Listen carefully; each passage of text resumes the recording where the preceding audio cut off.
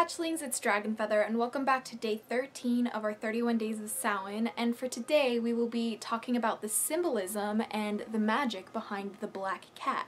And today is Friday the 13th too, so I figured that this would be a perfect day to discuss the symbolism and power and magic of the black cat and kind of get more into a little bit of a discussion about is the black cat evil or is it really just the ultimate form of magic? the ultimate embodiment of magic. My little kitten is a black cat and I have had her for quite many years. she's almost 16 or 17 now, but she still behaves like a kitten and she's a huge part of my practice and I wanted to touch upon that in this video. Despite popular belief that black cats are bad luck with all of the superstitious bullshit, um, some people thought that black cats were usually the familiars of witches, and while I do consider my cat my familiar, and I am a witch, so she doesn't really help that stereotype, but despite that, black cats mean so much more than that, and it was often thought that black cats were witches who transformed into cats themselves. And it wasn't com and it wasn't uncommon to say that uh, witches transformed into black animals such as black cats, black wolves, or black crows or ravens.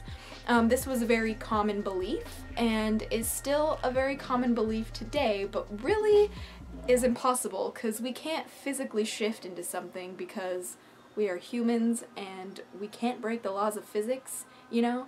Every witch is still a human, that's probably another really common misconception, but that's a whole nother video. For the black cats, despite the superstition and what people may have been led to believe, when it comes to working with black cats as a witch these days, they're actually quite valuable, spiritual, magical, and just overall physical companions. They're just so amazing. They're often associated with very powerful magic because Cats are often seen as the embodiment of the spirit world perfectly put into a physical expression.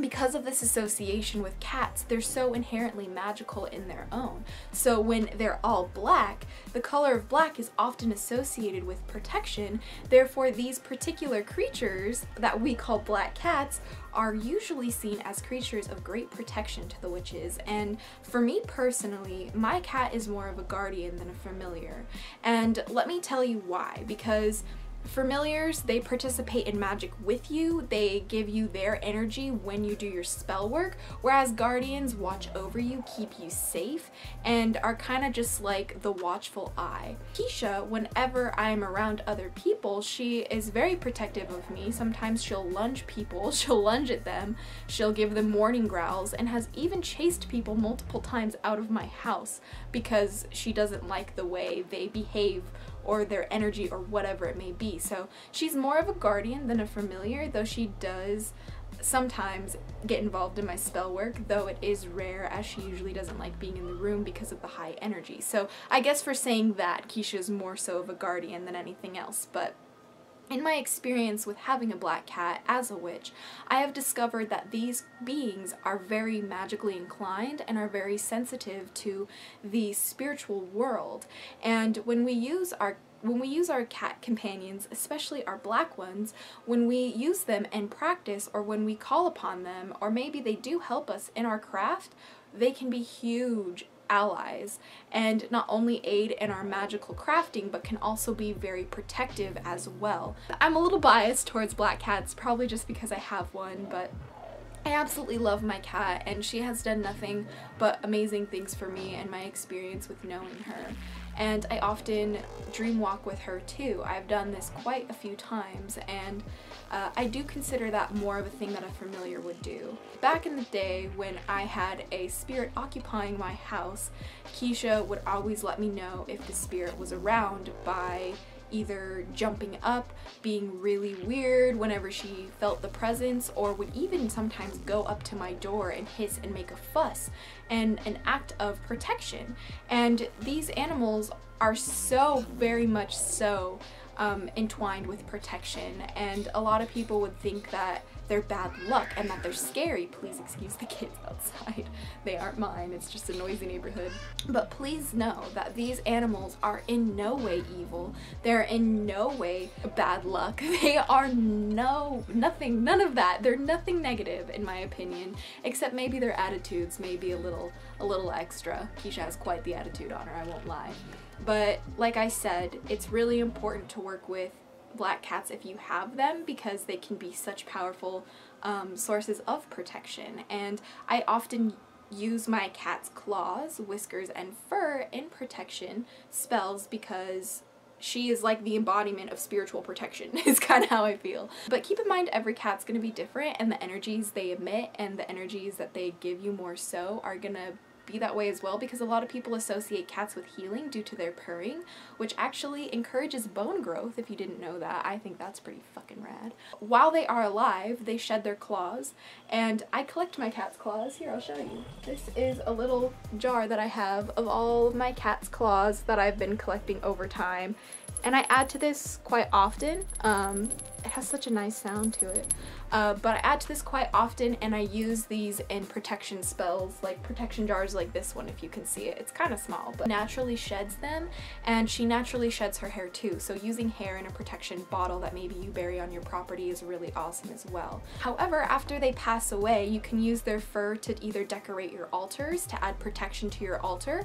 You can use it in ancestor work and they're very good for communicating with the spirit realm like, like they say. Many people believe that cats are the embodiment, the perfect physical expression of the spirit world. So I, I definitely resonate with that too and why I kind of feel like there's such a big difference between dogs and cats because cats are so spiritually inclined where dogs are just like so compassionately inclined. Like they just love you, they want to love you, they want to spend time with you, they adore you, where cats are very peaceful, very to themselves, and kind of sometimes disappear from time to time doing their own thing. So they're very much in their own world and very reserved. And as cats do genuinely sleep most of the time, um, it's great to work with them for dream work as well. And in my experience too because my cat loves to like sleep on my pillow or like sleep next to me or whatever and when she's purring and stuff like that it's just awesome to fall asleep and dream walk with her. So that's something that I love to do and something that you can do with your black cats as well.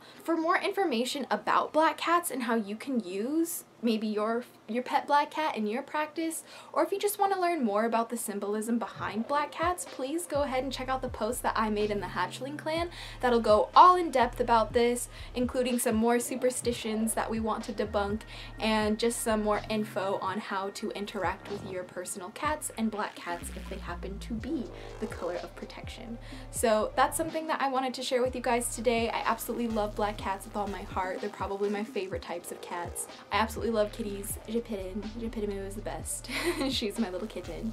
And she's just chilling right there while I film this video. But Anyway, thank you so much for clicking on this video. I really appreciate that you enjoy these videos. And to all of you who have been keeping up with the whole series, I wanted to say thank you because it's because of you that I make these videos and I hope that you guys love them as much as I do. And we've been getting such good positive feedback both on the videos and within the clan and I just wanted to say thank you again and express gratitude for all that you guys, you know, give to me, for giving to you guys. And it's just so much love and so much light so I wanted to send some of that to you today and send it back to your way.